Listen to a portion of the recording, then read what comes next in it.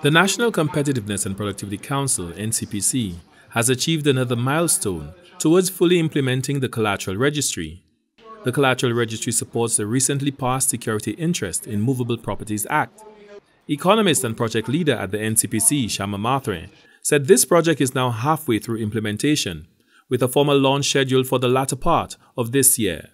We have to, um, you know, remember why is it that we're implementing, and that is to decrease the cost of um, access to financing and to ease um, access to financing, particularly for micro and small businesses. And of course, it would have positive externalities uh, for other stakeholders. Stakeholders and end users recently participated in a week-long hands-on training and consultation session on the novel collateral registry system and the Security Interest in Movable Properties Act.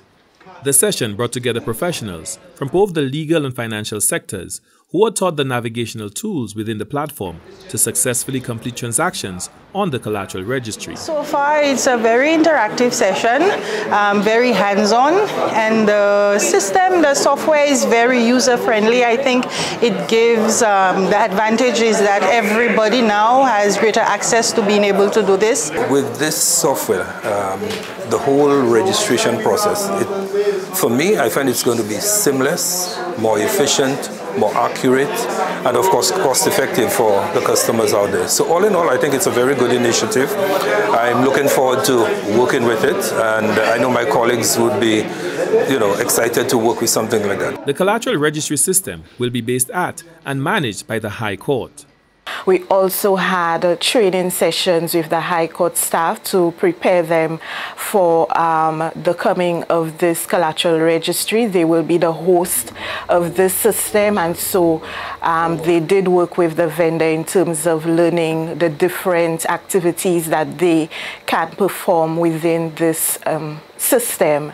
The World Bank and the International Finance Corporation, IFC, have partnered with the NCPC from project inception Senior Operations Officer with the IFC, John Wilson, observed that the Security Interest in Movable Properties Act was met with both excitement and apprehension by stakeholders due to the significant amendments to the previous reform. Part of the session today had the objective to assist in that transition from the previous system that was uh, a mixed bag of different acts and different legal mechanisms and different legal products um, into a uniform or cohesive product and a single registration system. So I think that there's enthusiasm and acceptance that that uh, will be extremely beneficial for financial institutions. But that transition, how do you go from the old way of doing things to the new way of doing things, has been one of the concerns that had been expressed. He said the way forward post the launch is to work with financial institutions to innovate credit products that use new types of collateral that engage in a more sustainable and inclusive manner with those who have not had traditional collateral to offer.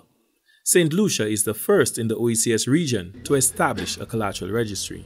And so this project initially started with only. Lucia in mind.